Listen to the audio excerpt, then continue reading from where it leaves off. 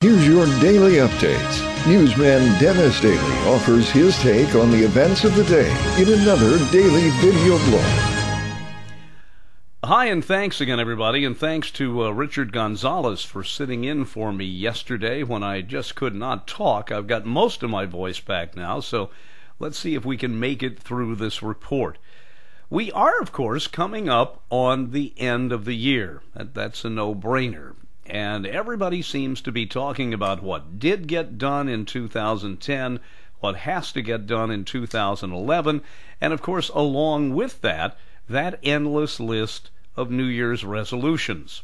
So I'm sitting here wondering if I should make any New Year's resolutions at all.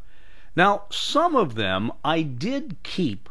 The one I made about four years ago to lose weight. I lost 25 pounds. Then I lost another 20 and gained it back.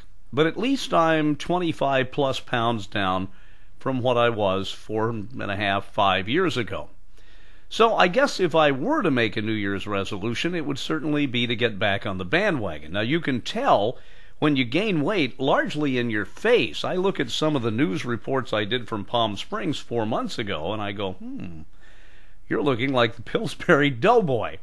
But anyway, that's going to be one of them. The other one, of course, is to get a decent part time job and see if this writing job that I did sign on for will develop into something decent. I hope that the weatherman will make a New Year's resolution, and that will be to bring springtime early to the southern part of Los Angeles. All the dampness here in Long Beach has been giving me fits. So, wherever you are, I hope you think about making a New Year's resolution that you can keep. The reason I bring that up is that I recently read an article that said basically people make New Year's resolutions that are unreasonable. And they have a track record year after year after year of not keeping those resolutions.